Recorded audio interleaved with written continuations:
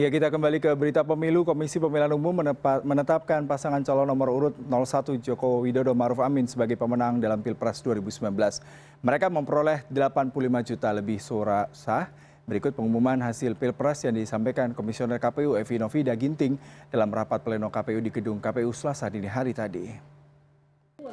Jumlah suara sah pasangan calon presiden dan wakil presiden nomor urut 1 Saudara Insinyur Haji Joko Widodo, Profesor Dr.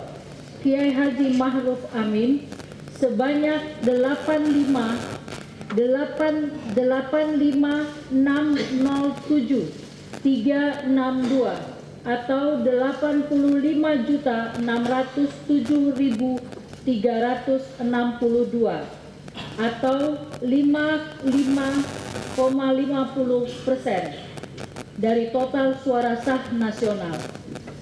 Ketiga, jumlah suara sah pasangan calon presiden dan wakil presiden nomor urut 02, Saudara Haji Prabowo Subianto, Haji Sandiaga Salahuddin Uno, sebanyak 68650 atau 68.650.239